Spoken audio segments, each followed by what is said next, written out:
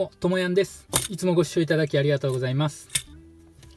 こちらですね、今手に持ってるのがですね、ファーストマシンですね。先日、えー、組み直しの動画をちょっとね、お伝えしたと思います。で、細かいセッティングっていうのがね、完了しました。えー、まあ何をしたんかって言ったらですね、まあまあ、あの、スラストの角度ですね、スラストの角度調整したりですね、まあ、前後ね。あとはまあそうですね、このもうちょっと、えー、この提灯ですね。提灯一回ちょっとばらしてもう一回組み直したりとかね、この辺ちょっと削って、うん、ちょっとあの、角度ね、調整したり、まあそれぐらいなんですけども、こんな感じでですね、ファーストマシンね、新しいファーストマシンが出来上がりました。でですね、まあ特徴ですね、ファーストマシンの特徴としましてですね、この台形ホイールですね、台形ホイールと提灯ですね、を組んだ TTMA、ね、MAX タイプ。っていうことですね。これがまずね、ファーストマシンですね。はい。で、こちらがですね、セカンドマシンになります。ね、セカンドマシンはですね、えー、っと、まあまあ、あのー、あれから全然触ってません。最後ね、お伝えしてから全然触ってないんですけども、こちらピストンブレーキシステムですね。を組み込んでますね。で、えー、っと、まあ、プラボディかっちり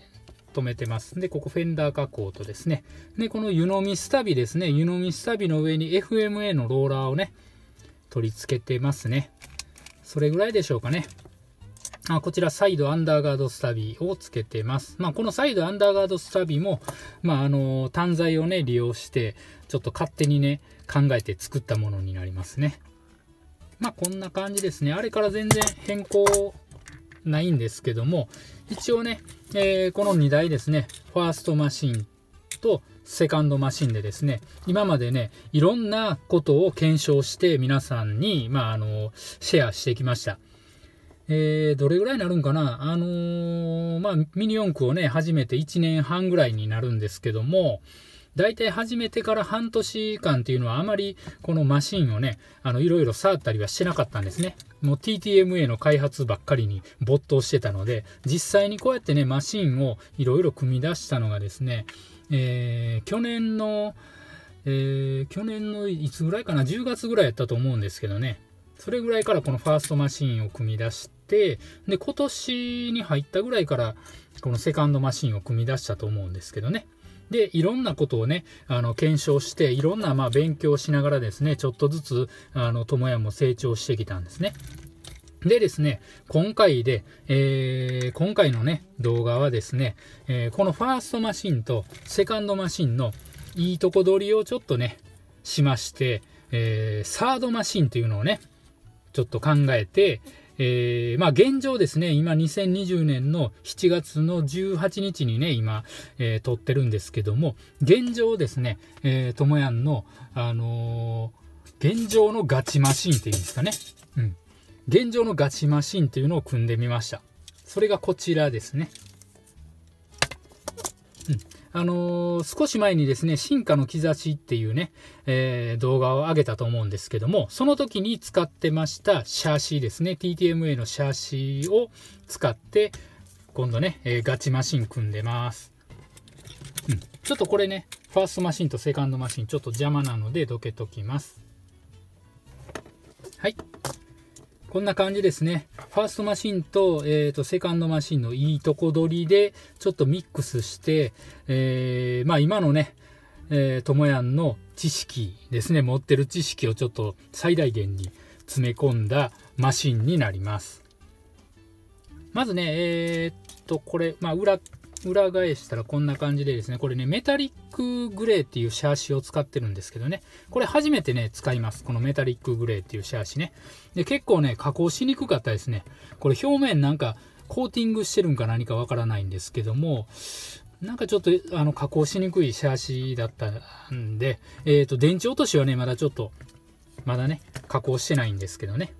まずはこのフロントのバンパーですね。バンパーはですね、いつものようにこのブレーキブレーキプレートみたいな感じでですね、ここに段差をつけてですね、この段差の下側に、えー、こちら今 2mm かな ?2mm のブレーキ貼って、この段差を利用してですね、うん。段差を利用したこのブレーキパッドっていうのをあの採用してます。で、フロントはですね、このバンパーですね、ピボットですね、ピボットバンパーです。ね、こちらつけてます。で、ローラーなんですけども、前後これ 9mm のベアリングですね、に湯飲みスタビをセットしてますね。で、リアなんですけども、リアはですね、ちょっとまあ、あの、FL システムですね。FL システムっていうのをあの採用してるんですけども、このね、FL システム、これ上にもこう、上にもぐっとこう押し上げることができるんですけども、ちょっとね、上方向への稼働を、えー、制限します、ここのプレートで。ちょっと見えるかな？ここのプレートでですね、上方向に稼働するのをちょっと制限してます。ですので、この、この前後のこの動きだけですね。この動きだけ可能にした FL システムっていうのをね、採用してます。で、ブレーキなんですけども、ブレーキはね、えー、ともやんが、えー、考えて作ったですね、えピストンブレーキシステムになるんですけども、これ見てもらったらね、ちょっとわかると思うんですけど、幅めちゃくちゃ、ね、横幅広くないですか？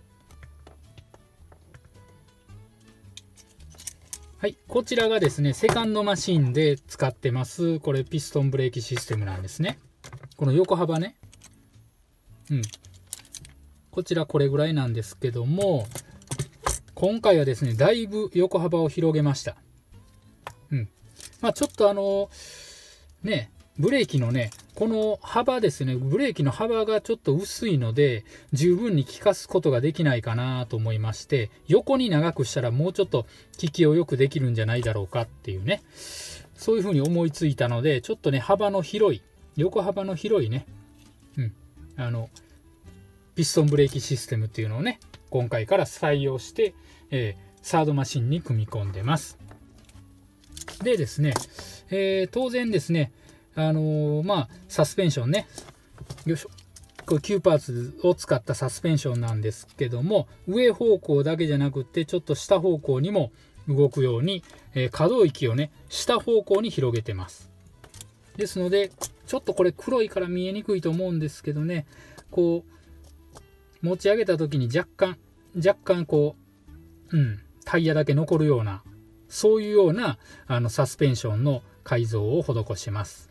うん、ちょっとこれね、あの映像では分かりにくいと思います。手でやるとわかるんですけども、まあその辺はあの進化の兆しっていうね、動画を見ていただいたらわかると思いますんで、またね、あのリンク貼っときますんでね、そちらから気になる人はそちらから見てください。で、タイヤなんですけども、タイヤとホイ、まあ、タイヤはですね、まずね、これ、小径のスーパーハードタイヤですね。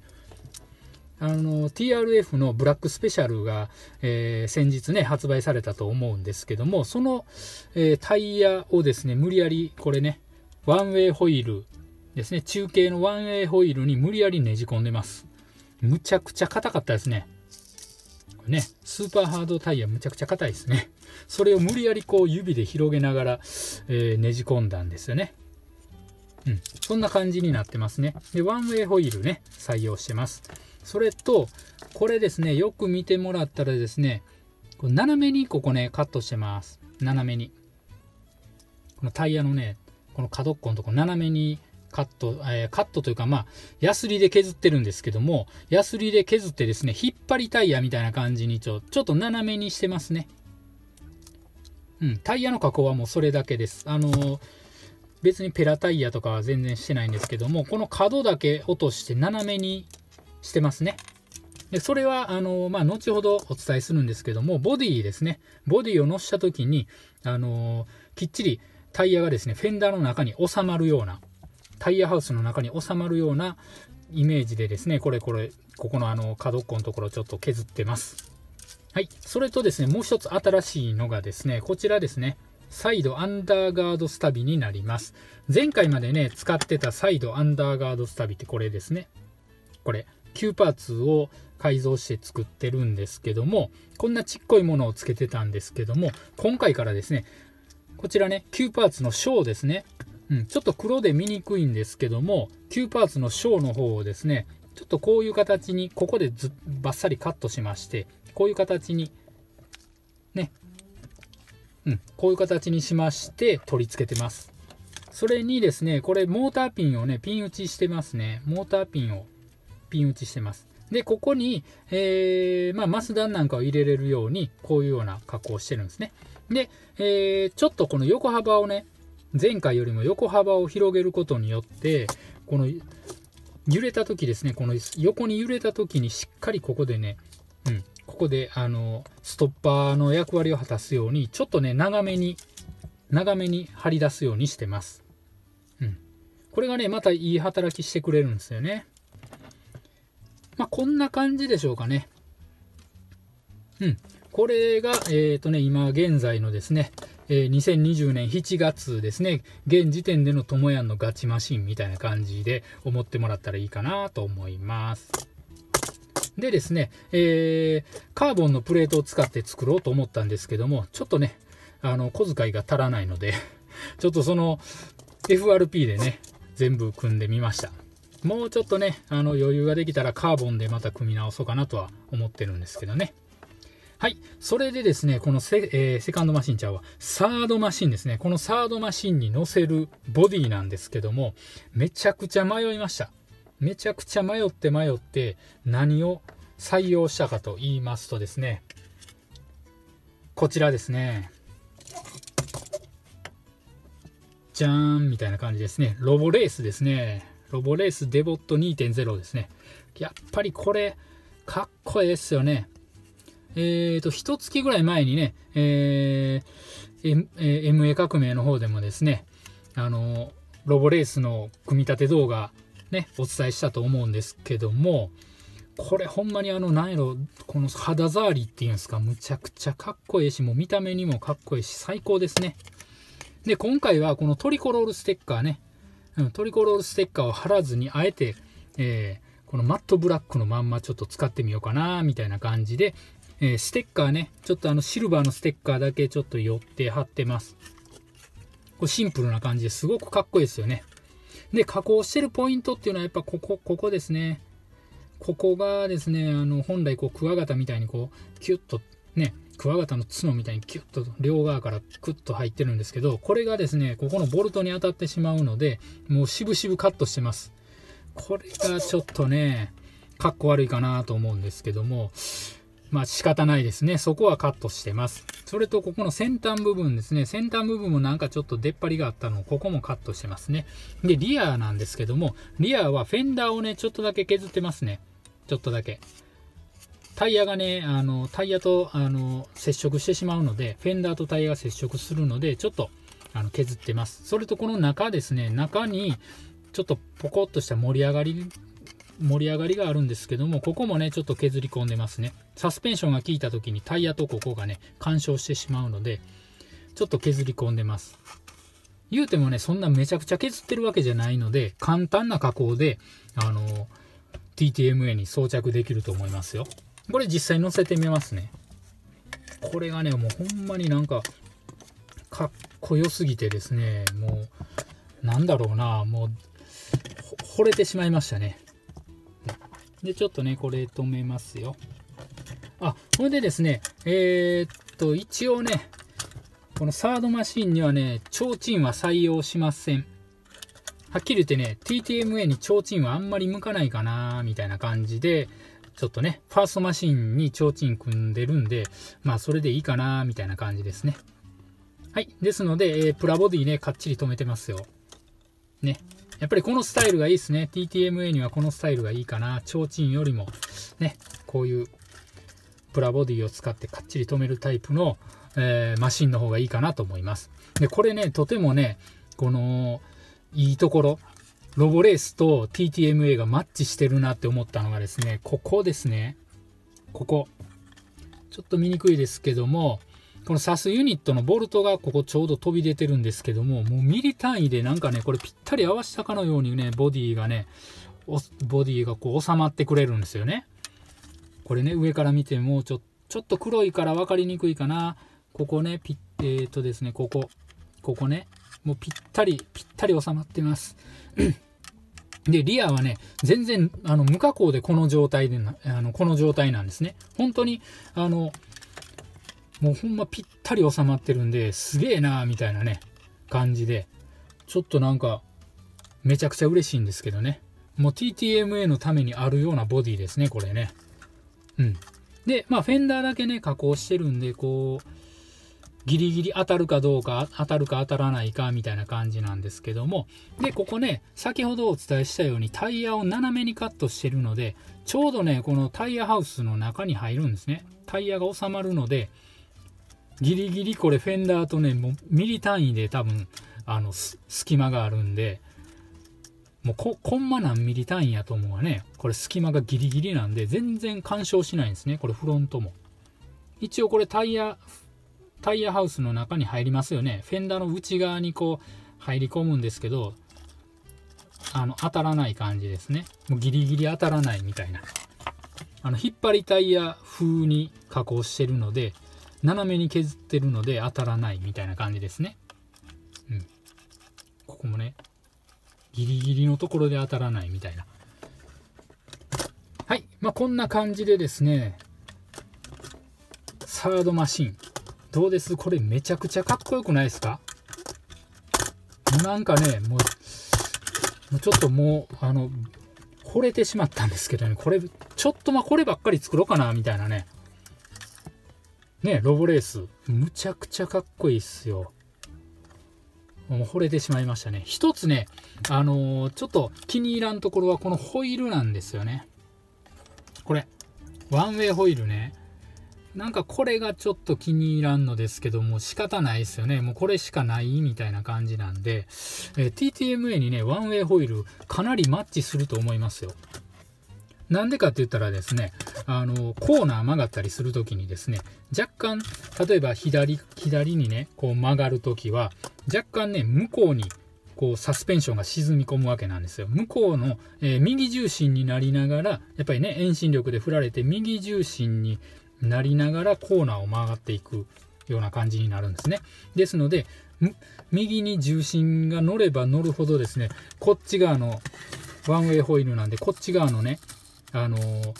ホイールがね、早く回転してくれるんで、向こうに乗れば乗るほど小回りが効くんじゃないかな、みたいな感じで、うん。ワンウェイホイール入れたらコーナーのスピードがむちゃくちゃ上がりました。うん。これは多分ね、あの、サスマシン使ってる人にしかわからないと思いますね。うん。やっぱり、サスマシンなんで、こう、左右、なんていうかな、4輪独立、一応ね、4輪独立になってるんで、結構こう、横揺れがね、起きたり、ね、することがあるんですよね。うん、ですので、コーナーの時にね、より踏ん張ってくれるというか、あの、ワンウェイホイールの方がね、向こう側に、ね、コーナーの外側に、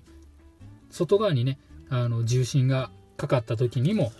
すごくね、食らいついてガーッと早く回ってくれると思うので、ワンウェイホイールは TTMA に、えー、ベストマッチするんじゃないかなと。まあ、勝手にね、ともやん思ってます。まあ皆さんもね、あの TTMA をお使いの方はね、ぜひね、一度ワンウェイホイール試してみてください。うん。